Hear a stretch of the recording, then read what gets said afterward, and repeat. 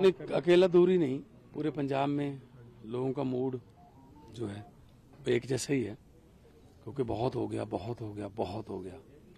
अब कुछ नया जमाना आएगा। अभी जो चुनाव के कुछ दिन पहले जो एक तरह से मुद्दे सामने आए वो खालिस्तान समर्थन की बात हो या और जो मुद्दे थे लगता है कुछ असर पड़ेगा उसका? करने दो इनको। ये दो तीन दिन पहले ऐसे करते हैं। करने दो। लोगों लोगों को इस बात से कुछ लेना देना नहीं है।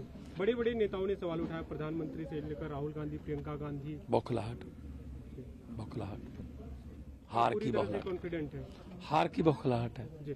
दूसरी बात चरणजीत सिंह चन्नी की तरफ़ से एक बयान सामने आया है कि डेरा की तरफ़ से धूरी में एक तरह से भगवंत मान को वोट दिलाया जा रहा है और ये दिखा रहा है कि कहीं ना कहीं बेअदबी को लेकर साठगांठ थी। हम कभी वहाँ गए नहीं। लोग सच के लिए वोट कर रहे हैं। लोग सत्य के लिए वोट कर रहे हैं।